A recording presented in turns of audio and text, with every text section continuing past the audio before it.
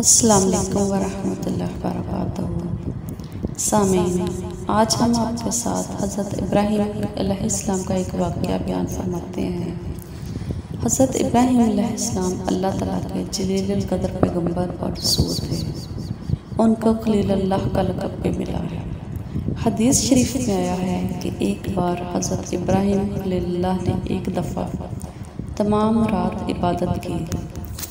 जब सुबह हुई तो शब बेदारी पर उनको हैरत और तजब हुआ। वो खुद ब खुद कहने लगे कि कितना अच्छा रब है और इब्राहिम भी कितना अच्छा बंदा है।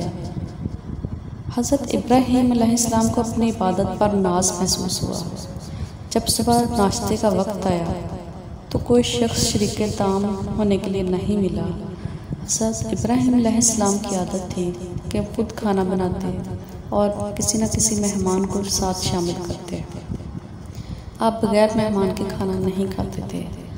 मजबूरन वो सरे राह बैठ के कोई राहगीर मिल जाए और उसके साथ में खाना खा ले। इतने में दो फरिश्ते आसमान से उतरे और हज़रत इब्राहिम इस्लाम की तरफ़ पड़े आपने इनको मुसाफर समझकर खाने की दावत दी। इन फरिश्तों ने दावत कबूल कर ली। आपने उनसे फरमाया कि ये पास के बाग में चलो। वहाँ पर एक चश्मा है भी है। हम सब मिलकर वहीं खाना खाएँगे। चनाचे सबके सब लोग बाग में पहुँचे। देखा तो चश्मा खुश्क पड़ा था। हज़रत इब्राहिम इस्लाम को ये देखकर बहुत दुख हुआ और कॉल के मुताबिक वहाँ पानी ना होने पर मुसाफरों से शर्मिंदगी हुई। फरिश्तों ने कहा, ए इब्राहिम अपने रब से दुआ कीजिए। कि वो दोबारा चश्मा जारी कर दे हज़रत ने दुआ की, लेकिन कुछ जवाब नहीं मिला। आपको इससे और ज़्यादा तकलीफ़ हुई। तब आपने फरिश्तों से कहा कि तुम दुआ करो। चाची, एक फरिश्ते ने दुआ की फ़ौर पानी चश्मे का जारी हो गया।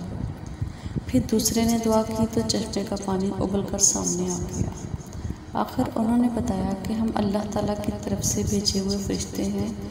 और आपको जो शब बेदारी और रात की इबादत पर पर कुछ गुरूर पैदा हो गया था, इसकी वजह से आपकी दुआ अल्लाह ताला ने कबूल नहीं फरमाई।